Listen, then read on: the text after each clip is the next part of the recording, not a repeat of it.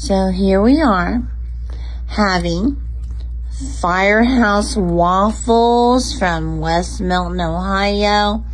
Are you kidding me? We are your biggest fans. Big time. It's large. Yep, it's a big deal at our house. We look forward to it. Big time. That's Katie. That's your firehouse waffle loving best fan ever girl.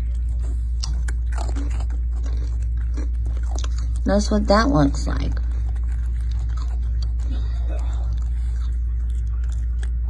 Mm-mm.